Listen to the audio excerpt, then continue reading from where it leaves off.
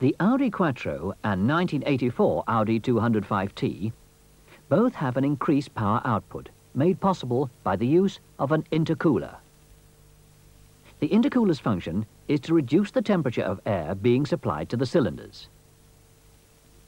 It's placed between the turbocharger and the inlet manifold and is situated in the airflow behind the front grille.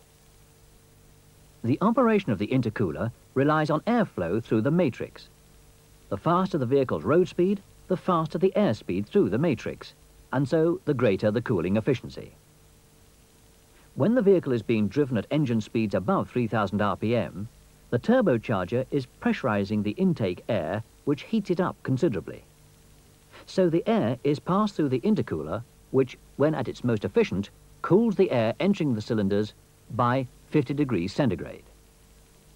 The greater expansion rate of the cooled air, along with its increased volume, results in greater efficiency of combustion and so higher power output. These higher compression pressures necessitate a stronger and more efficient spark. This is best provided by an electronic ignition system.